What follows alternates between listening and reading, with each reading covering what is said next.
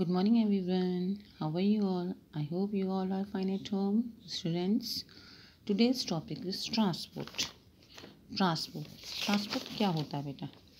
Transport. We have to move from one place to another. If the distance is short we walk but to go distant places we use some means of transport. Let's study what are they. In the villages bullock carts and house carts carry people and their luggage from one place to another.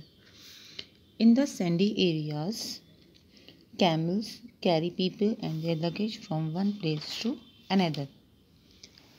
In the cities, people use cycle, motorcycle, car, buses and auto rickshaw to move from one place to another.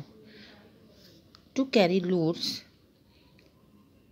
to carry good peoples use house carts tempo and truck and to travel long distances buses and trains are used.